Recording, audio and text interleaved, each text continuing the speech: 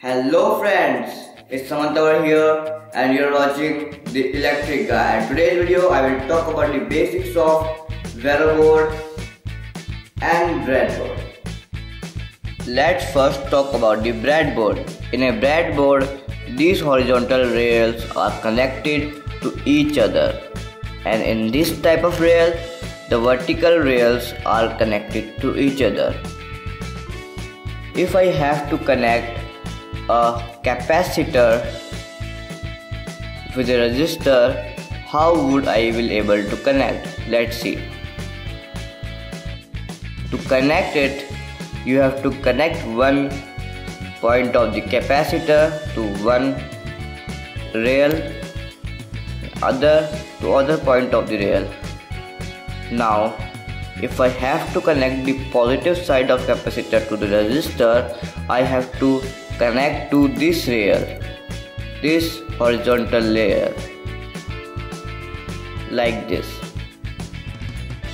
And now the connection with the capacitor to the resistor is done in this way. An important thing is that it doesn't require any soldering so it is very easy to use and it is used actually to test the circuit first and then solder it in this board. Okay, in this board we have to actually solder the connections like if I connect this capacitor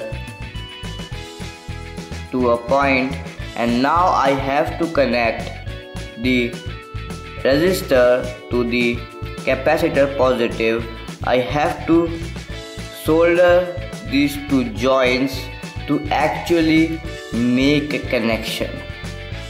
But there are some Vero boards which have breadboard layout but then also you require to solder the things on this board